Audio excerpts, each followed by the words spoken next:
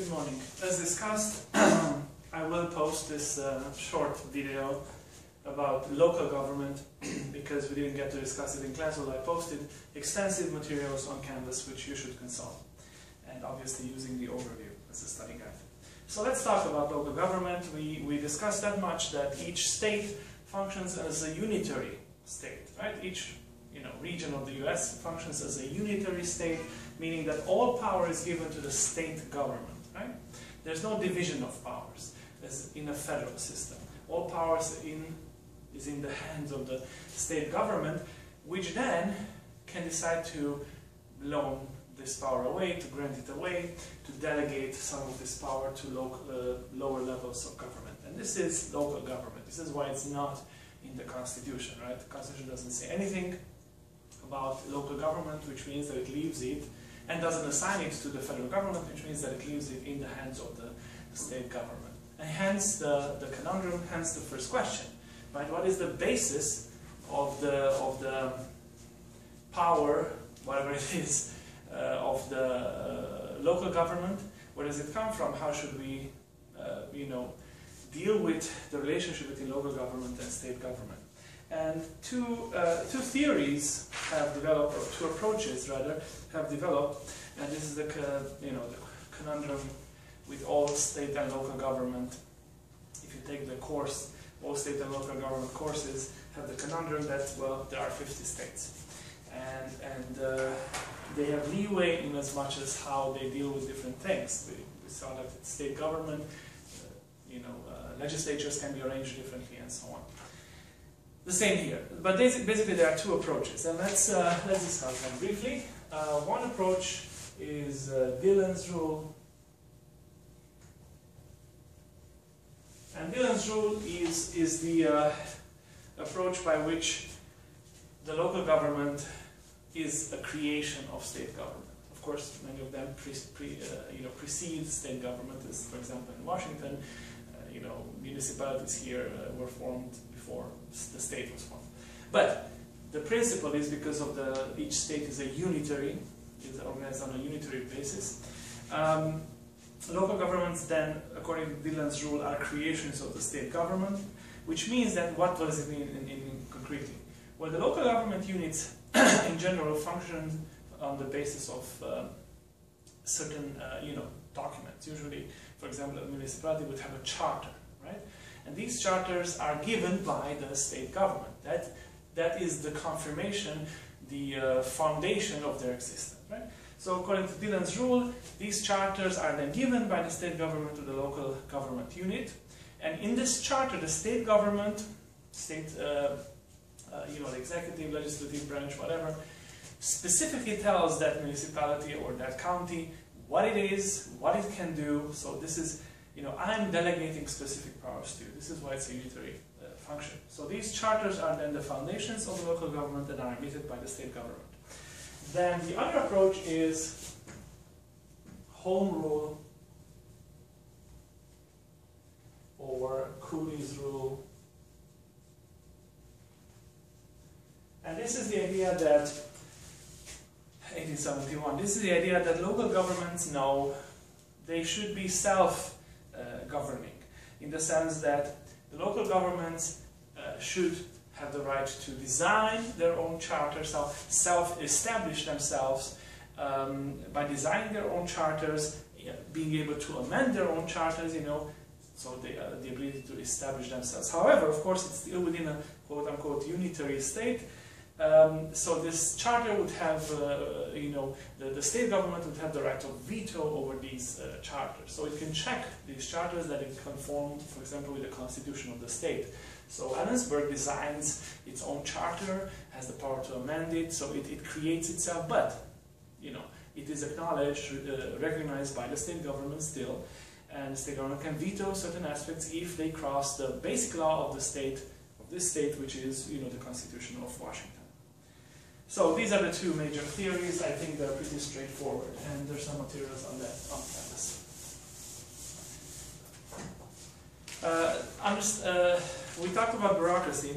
Uh, it's, an, it's worth noting that uh, you know people usually criticize the federal bureaucracy. Oh, it's just big and bloated, and Well, there are about, we talked about the fact that there are about 3 million people working for the federal bureaucracy, 4 million people in the United States, or thereabouts, uh, working in state? 10 million, however, work in local government, okay? So 10 million bureaucrats, so to speak, work actually for the local government. Okay, so let's talk about the different types of, of local government, just a few main types. Uh, first of all, the county, it's a good way to start, right?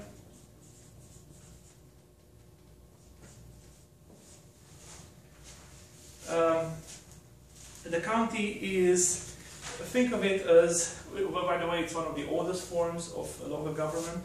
In different states it's called different, different regions it's called differently. Parish, for example, in Louisiana, or borough uh, in New England, and so on. But, you know, it still means county. Either it's called parish in, um, uh, you know, Louisiana, or whatever, Mississippi. So each state has counties, varied number, varied size, varied population. What it is, is an administrative subdivision of the state. So its main role is to carry out state programs and to provide certain services, but it's a subdivision of the state. So here's the state. It's divided into counties. Right? Then the counties each have their own government. the Washington, and each of them uh, you know, has an administrative role, mostly to, to, to actually uh, implement state policies. Um, how is it governed? Always important. Uh, it's governed by a, a, county commission, meaning that it's governed by several people called commissioners. Uh, one of your colleagues works for uh, the commissioner for this county. So a county commission governs the county. Uh, the county commission is elected. You can also have a county sheriff, a county attorney, chief county executives, and so on. Okay, so government by county commission and the commissioners are the individual members. Good. The next uh, type of uh, local government is the municipality. This is again one, a very common one. It is a crucial unit of, of local government. Uh, again, as I said, based on the charter. Uh, its authority in the last uh, 100 years has, has increased. What does it do? several things. So, first of all, it delivers services to its population, meaning police, meaning uh, water, meaning sewage, meaning firefight, everything. So the, the daily needs, right? You have Ellensburg police, right? And then water, sewage, uh, and then firefight, and so on. Right? So one is deliver services. Two, it itself executes state policy, right? So state policies are implemented by municipalities as well. Third, it can also have a direct relationship with the federal government through some, some of those grants in aid. Some of those grants in aid actually might bypass the state government in a way, being directly offered to cities. You know, there might be a federal government program granting aid to, uh, you know, rejuvenate uh, the, the, urban, downtown, inner urban uh, areas. Well, that is given to, to cities, right? So how is it uh, governed? So there are several types of governance for municipalities. So let's close here the, the county issue. The municipality has several types of, of government. Okay? One type is the um, mayor plus council. So that's one mayor plus council. This is very often encountered, right? Think of the mayor as the executive, head of the executive. Remember, the executive is a branch, not a person.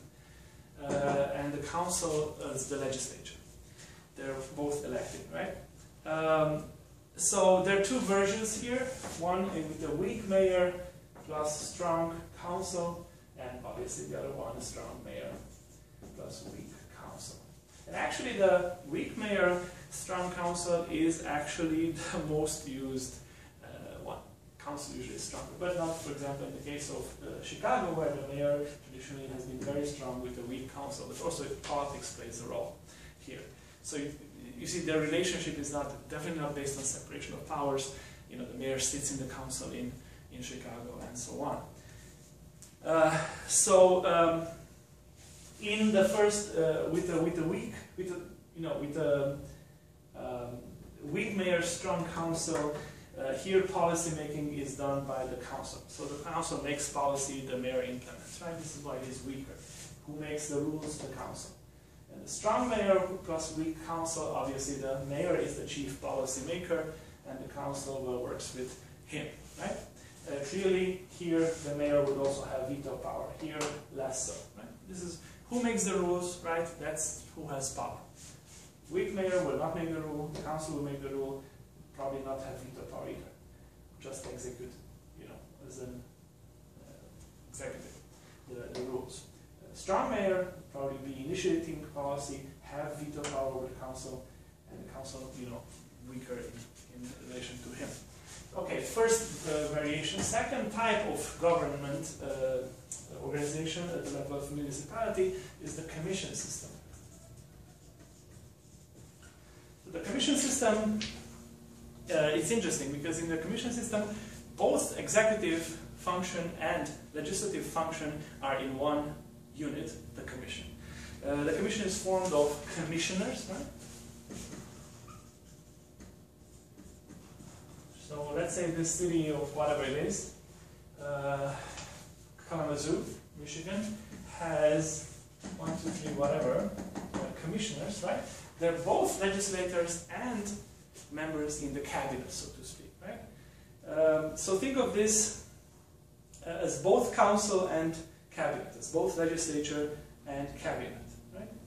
So each commissioner is both, this is both a, a legislature, so they're both elected as members of the legislature, but they're also chief heads, right, of a department.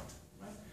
Think of it like the cabinet, the US cabinet with the heads of each of these departments, agriculture and whatever. Think of it if that would also be the legislature of the US, you would elect the members of the cabinet, right, as members of legislature, and each of them you would elect them, and each of them would then become also heads of the various uh, departments of the administration. That's what goes on in a commission model. It's an interesting thing um, because it combines both the legislative, you know, they, they make the rules and then also implement them, right, and the executive functions. The model is less used, and, and one of the problems is that it lacks a clear leadership, right, as, as you have it in the other model. Okay, the other, uh, a third version of organizing um, government at the uh, municipality level is the city manager. That's an interesting one. Uh, it's actually very popular, um, not my favorite. The executive branch, so the branch that runs the services, right, the daily services, uh, implements, so to speak, rules and policy, is actually led by a city manager. So there is a council, and there is then uh, the executive branch led by a manager. Which means, why is it here a manager? Because he's hired. So he's not elected, he's basically a guy or a gal uh, hired by the council to run the services. And for that you need a master's in public administration. This is why they're popular, this is what this department offers them, right? Uh, because this is you know what you need. So the council then hires and fires the local council, the legislature, local council, or let's say plus local council, plus council. Okay? City manager plus council. We'll hire this guy, you know, um, there's a job announcement, people apply, and they're hired. Problem here is what, right? Well, exactly I think you can guess that, well, the good thing is that this is a professional, uh, right, who knows how to run services, that's who know, knows how to run administration, that's his job. On the other hand, he doesn't have any political clout. These people in the, by the way, at all levels of government, right? You have, you know, the government is, you know, elected, county commissioners are elected. Um,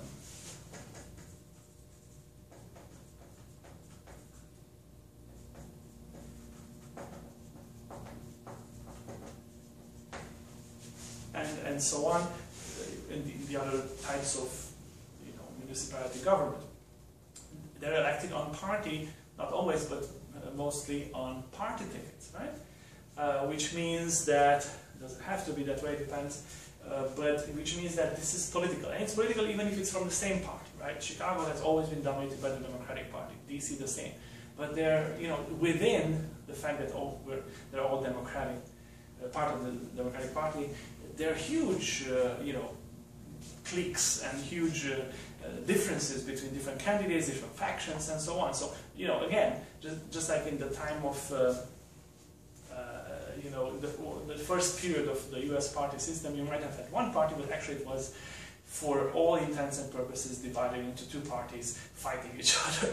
So the same goes, you know, they're always political in the sense that they're different interests uh, fighting each other.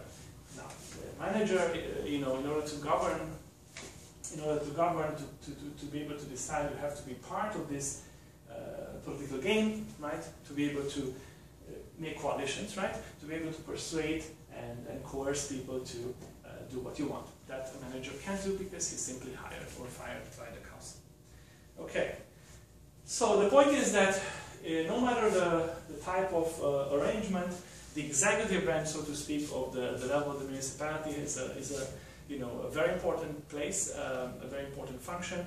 Uh, it does everything from, you know, again, the very important things of running a city, meaning running the services, providing these services to the, to the um, people, managing the finances of the city, but also developing the city, and that's also key, right? So which parts become, you know, um, uh,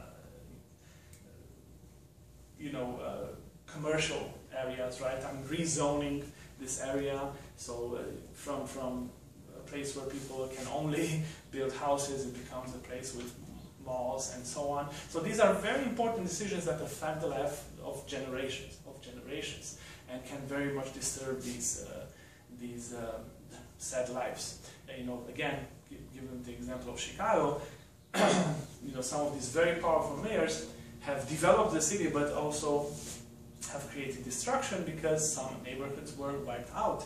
You know, or think of the process of, I don't know if you're familiar with it, gentrification, which is a more, you know, is a, the idea of bringing in middle class people in an area, usually from public with lower class in terms of economic status uh, people.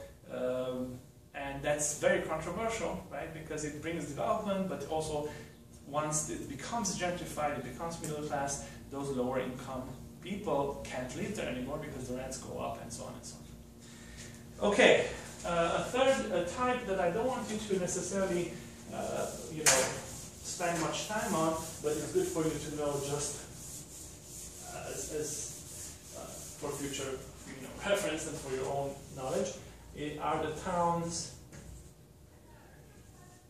and townships.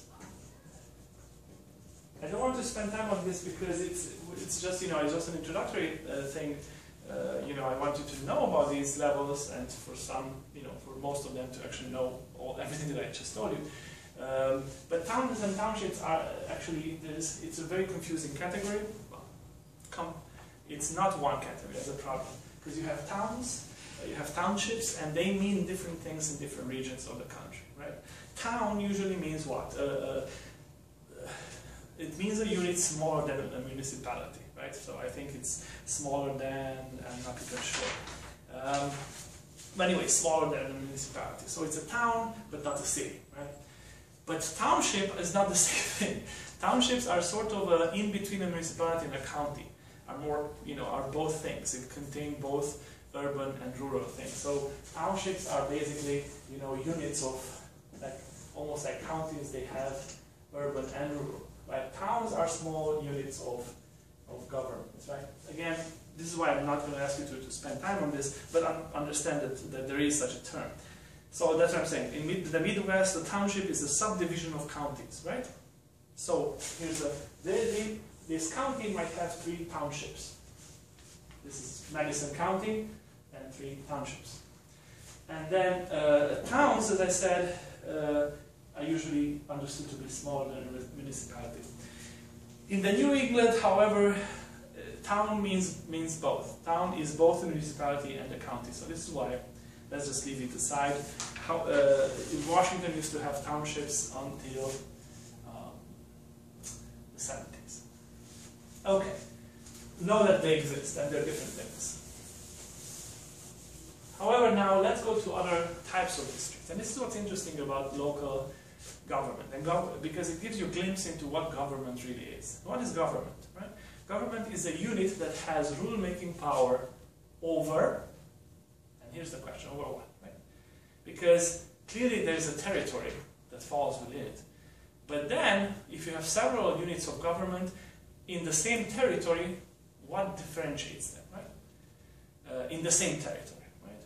Think of the federal system, right? We have a federal government and then there are state governments. Together they cover the same territory. What makes them different? Well, obviously, we talked about this and you really have to understand that the federal government has specific areas over which it is supposed to have power and not over the others. Only those that are enumerated. Well, is it true? No, not anymore. Because what? Implied powers, because, because what? Commerce clause, right? Because of the, the changes the federal, federalist, in the federal system of the United States, which has led to the federal government having the Department of Education. But where in the enumerated listed powers given to Congress in Article 1, where do you see education? Wasn't, and in the 10th Amendment, it says that all powers not specifically given to Congress and specifically banned to states should belong to the states. Education. So, but we talked about how this has changed. And it's not only an American specific, you know, phenomenon. Yeah? Governments have increased in size, we talked about the presidency and so on. But what I'm saying is that what differentiates the federal and the state government is that they have, basically they run the same uh, uh, area, territory, right, together, all the states versus federal government, but different aspects of your life. In other words, different what? Areas of policy. Right? And that's the deal with these other forms of local uh, government. And for example, school districts. So, as the name says it, these are local units of government that govern a specific issue, education. Education. And they don't correspond with municipality, they don't correspond with the county, they are, their territory might or might not overlap with those, I mean they overlap with those, but might not, might not correspond, they're smaller than a county, contain several municipalities. The point is, here's county, county X, right? You have municipalities here, whatever. Then here's a school district, right? That's what it is, right? And what's differentiated is that it governs one aspect of your life, which is education. Right? So these are units of government dealing with one specific area of policy. Um, sometimes they, they are put under the local government. Say you have Washington, D.C., there is a, a, board of education which falls under local government but often they're completely distinct, and that's what I'm talking about. So school districts might be completely independent of all the other forms of local government, which means that they have their own governance, usually are school boards, which is sort of the legislature, and there's a school superintendent, usually, which is basically the head of the executive. Yeah. So the school boards uh, are the legislature that you elect, while the superintendent is the guy they or gal that they hire to run, just like in the city manager council uh, model. Okay, so that's a that's a typical uh, uh, model, and so on. Well, just the same are other special districts. And in on Canvas, I put a link to I posted a document with all the types of local units of government that the state of Washington has. And you see school districts, you see how many types of special districts there are. And these are local units of government. Special districts, again, are special because they deal with specific area of policy, i.e. specific issue. Uh, make rules and govern a specific thing. And this can be, for example, a district for the water supply, a district for the waste disposal. Because the waste disposal will, you know, the needs of waste disposing and, and where can you, you can take them only in one place, which means that all the garbage has to be collected from all this area and they all put their resources together to use and build this facility here and that's governed by a special board and that's a waste disposal you know district right because it governs a specific thing and its borders do not match with a specific municipality or maybe town, township, county and so on. Uh, okay, usually these special districts then deal with one area. They're led by a board, just like the school board, and that's the legislature. And they have a professional administrator who is not elected, just like the superintendent is hired by the board. He's the head of the, he's the guy who runs the, the thing. The guy who runs the thing. Okay, and finally,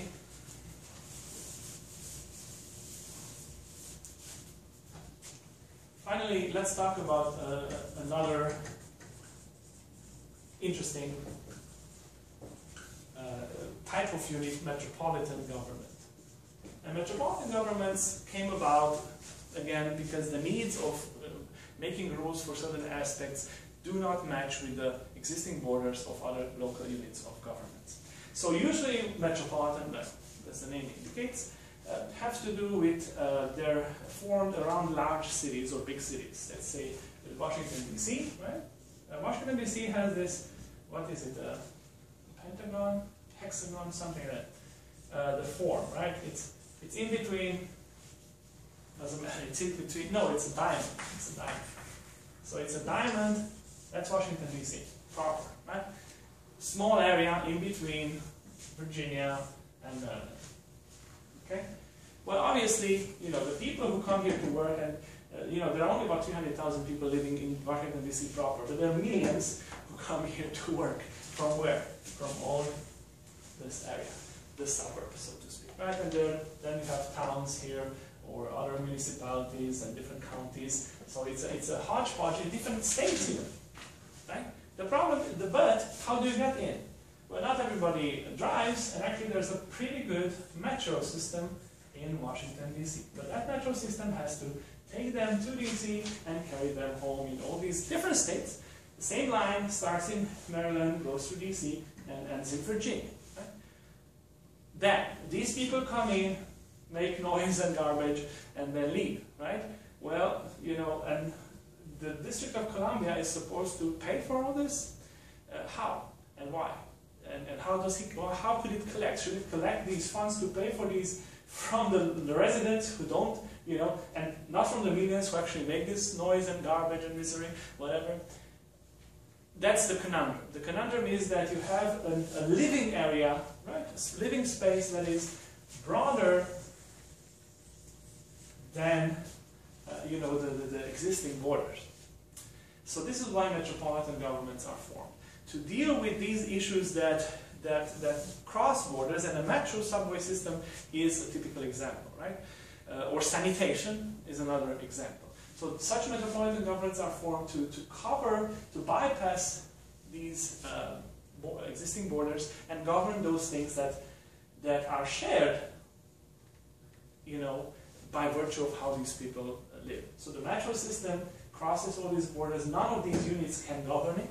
So then there will be a metropolitan government, type government for the metro system or whatever, right? Or sanitation and so on. Okay, good. And uh, so let's talk about uh, a few words about elections. Local elections. Just like with the state government, I asked you to be able to list for me types of positions you would vote for if you uh, get into the voting booth uh, in, you know, state, all the types of state, in the, list, the level of state government, executive, and legislature. At local, level, well, within the, on the same day, you might also be asked to vote for local government. But you see, there's not one local government. So you would be elected, you would be asked to elect a county commissioner. Yeah, for your county. You will be asked to elect the, your city council. If you are if it has a mayor, you will might elect you might elect a mayor. You might elect your I don't know school district board. you might also be asked to elect your you know, water board, you know, water district board, and so on. So for all these, because you live here,